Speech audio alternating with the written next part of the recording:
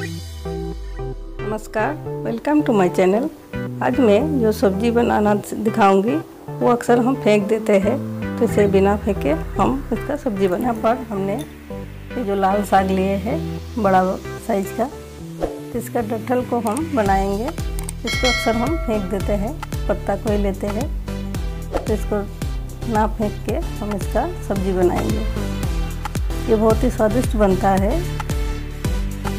तो हमने इसको पत्ता को तोड़ के इसका सिर्फ़ डंठल ही काट देते हैं।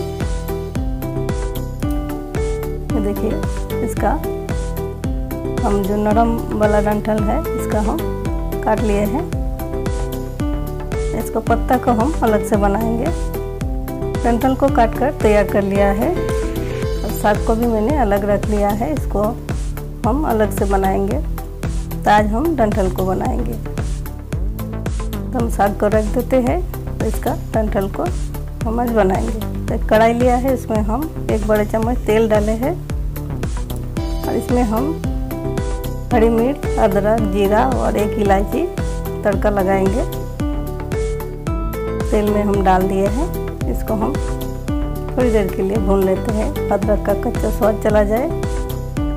और हम इसमें डंठल को डाल देते हैं। मिर्च अपने हिसाब से डालिएगा तीखा कम ज़्यादा हो सकता है। अब इसमें हम हल्दी पाउडर डाल दिए। इसमें थोड़ा सा नमक और थोड़ा सा चीनी डाल दिए। अब इसमें हम एक चीज़ डाल रहे हैं, यह है सरसों पेस्ट। राई का पेस्ट हमने डाल दिया है तो इस पानी भी थोड़ा सा डाल दिया है। इसको हम मिला लेते हैं। ज़्यादा कुछ सामान इसमें नहीं चाहिए।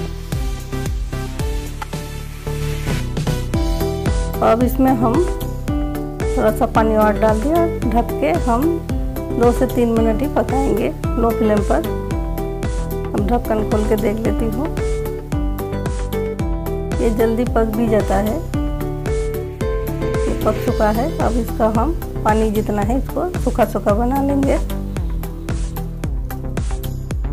इसको हम सूखा सूखा बना लिए हैं।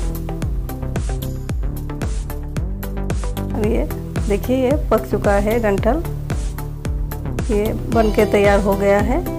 अब ऐसे मैं सर्व करती हूँ।